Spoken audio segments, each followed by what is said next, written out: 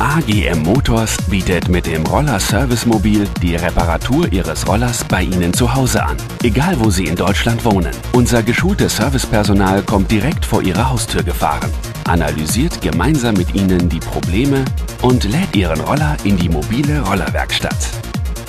Nutzen Sie Ihre wertvolle Zeit, während unsere Kundendienstmonteure Ihren Roller reparieren.